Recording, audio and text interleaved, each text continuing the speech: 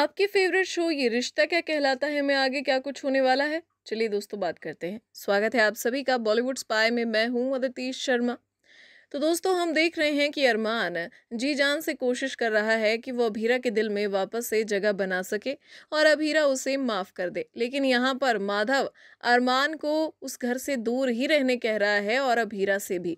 अब यहाँ पर अभीरा भी काफ़ी टेंशन में है कि जब सब कुछ ठीक हो चुका है तो माधव अरमान और अभीरा को मिलने क्यों नहीं दे रहा?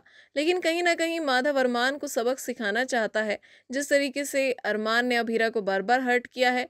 शायद माधव यही चाहता है कि अरमान को उस चीज़ का एहसास अच्छे से हो।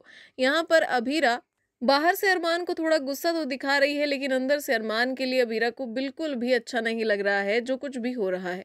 हम देखते हैं कि जब अबीरा सो जाती है तो रात को अरमान फ्लावर पॉट्स पर चढ़कर अभीरा को आवाज़ लगाता है और तभी वो पॉट फिसल जाता है और अरमान नीचे गिर जाता है।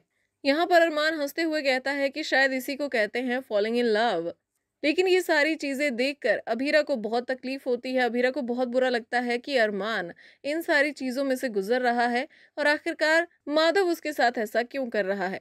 अब यहाँ पर अरमान ने ठान ली है और वो माधव और अभीरा के घर के बाहर ही बैठ गया है कि वो अभीरा को मनाए बिना यहाँ से नहीं जाएगा।